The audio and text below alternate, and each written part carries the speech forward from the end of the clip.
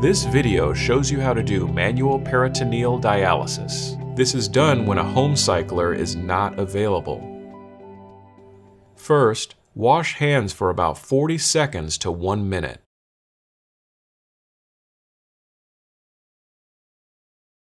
Put on a mask.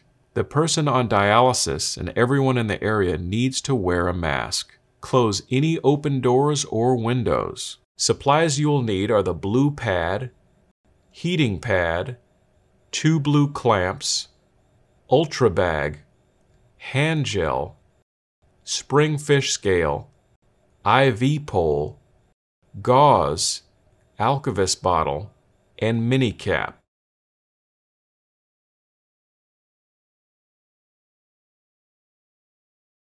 Prepare new ultra bag. Remove ultrabag system from overpouch and inspect pull ring, tubing, and frangibles. Discard bag if solution is cloudy. Inspect solution bag. Remember seal. Check that solution dextrose concentrate is correct. Expiration date, amount, and appearance and leaks. Warm the solution with a heating pad until it feels warm, about 15 to 20 minutes.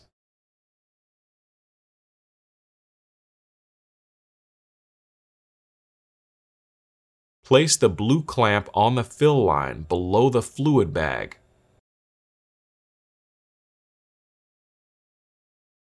Break the frangible near solution bag. Remove the clamp. Slowly count to five and then reclamp the fill line, making sure the fluid has flowed down to the drain bag. Prepare transfer set. Put on a mask. The person on dialysis and everyone in the area needs to wear a mask. Close any open doors or windows. Place blue pad under the catheter. Open two 4x4 gauze packages carefully on the work surface, but leave the gauze in the packaging.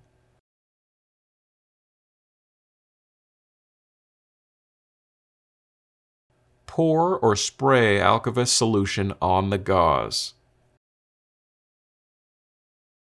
Access the PD catheter by removing it from the belt.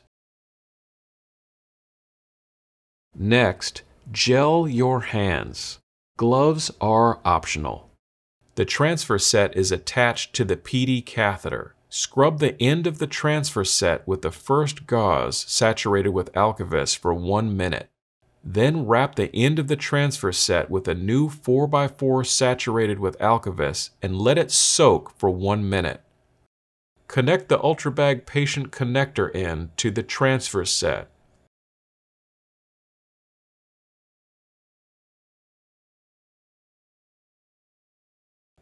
Break the blue frangible on the patient connector end, and open the twist clamp on the transfer set. Let it drain for about 15 minutes. Make sure drain bag is in drain position below the catheter and belly area with shiny side facing up. When drainage is complete, close the twist clamp. Remove the clamp. Slowly count to five and then reclamp the fill line, making sure the fluid has flowed down to the drain bag. Clamp the drain with blue clamp. Hang the spring scale to the pole. Make sure the spring scale is set to zero. Then hang the solution bag on the spring scale. Open the twist clamp and remove the clamp from the fill line. Let solution flow to the prescribed fill volume by watching the scale rise. Once the prescribed amount is instilled, clamp the fill line again. Close the twist clamp on the transfer set. Disconnect the Ultra bag from the transfer set and put on a new mini cap. Weigh the drain bag in the spring scale and write down the drain volume.